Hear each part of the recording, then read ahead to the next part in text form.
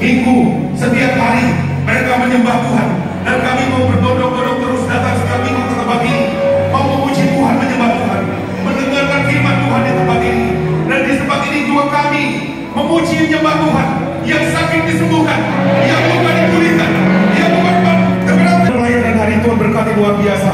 Ada sukacita penuh dalam kehidupan mereka. Berkati rumah kamu, berkati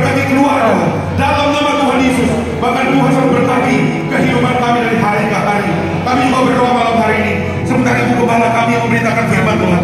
Biarlah kiranya Tuhan beri hikmat yang luar biasa. Ibu dan